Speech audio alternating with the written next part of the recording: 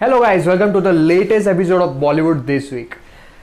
दरार कार्तिक और करण के बीच में कार्तिक और करण के बीच में बहुत बड़ी दरार differences between Kartik Aaryan and Karan Johar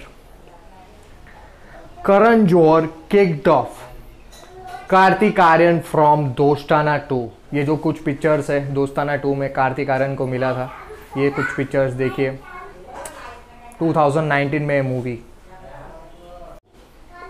इसका रीज़न आज मैं आपको बताऊँगा। रीज़न बहुत ही छोटा है और बहुत ही बड़ा भी है। दो रीज़न्स है।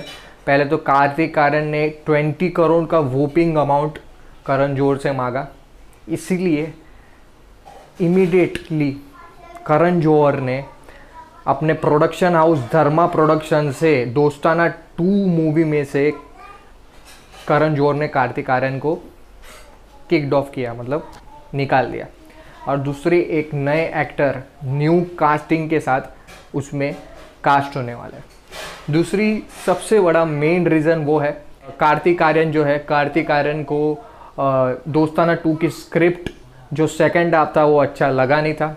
इसीलिए कार्तिक आर्यन ने ना कह दी थी और उनको कोरोना पॉजिटिव भी हो गया था। इसलिए उनके पास डेट्स थे नहीं, दूसरी मूवीज़ के डेट्स थे इसलिए।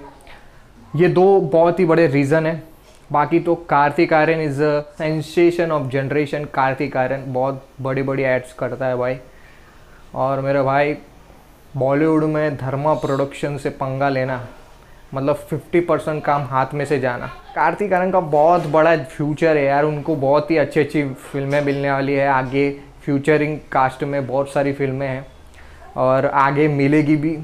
फ्यूचर ख़त्म हुआ नहीं है, क्योंकि ट्विटर पर बहुत ट्रेंडिंग पे चल रहा था ये टॉपिक कि Kartik Aaryan remove from Dostana two. ना है मेरा भाई, अभी तो बॉलीवुड में आया वो बंदा। आउटसाइडर है but he needs a very big film to hit the theatres and grab the audience पे आज से मैं आपको हर एक बॉलीवुड की न्यूज़ दूँगा।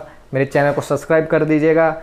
हर एक बॉलीवुड की न्यूज़ अपडेट्स हमारे इकलौते चैनल पे। और मूवी रिव्यूज़ वो तो चालू ही है। मूवी रिव्यूज़ तो देते रहूँगा। टिल देन बाय बाय जय हिंद। Stay cool man